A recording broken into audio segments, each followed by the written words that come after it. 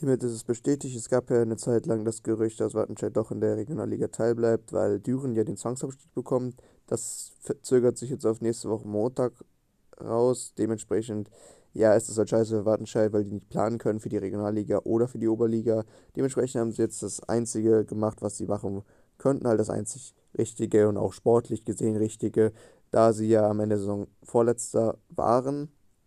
Halt eigentlich Drittletzter, aber ja, Born halt letzter geworden ist, ähm, durch den Direktabstieg in die Kreisliga, eher gesagt in die Oberliga, weil sie nicht in der Lage waren, einen Kreisliga-Antrag zu stellen. Aber hiermit ist Wattenscheid nächstes Jahr in der fünften Liga, egal ob jetzt Türen, was jetzt auch immer da passiert, weil Wattenscheid keine Lust hat, jetzt noch länger zu warten und sie auch langsam mal anfangen müssen zu planen, weil sonst könnte das echt nach hinten losgehen, weil man muss früh genug anfangen zu planen. Und jetzt haben sie hiermit gesagt, dass sie nicht in der Regionalliga teilnehmen werden falls Düren doch runtergehen sollte.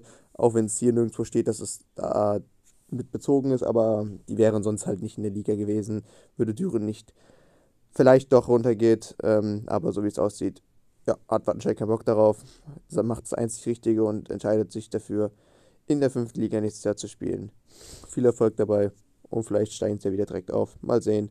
Aber auf jeden Fall hat es ja so oder so lang genug rausgezogen, weil es war immer noch unklar, jetzt in der Regionalliga spielen oder Oberliga. Jetzt haben sie sich selber in die Hand genommen und gesagt, wir spielen jetzt ja Oberliga.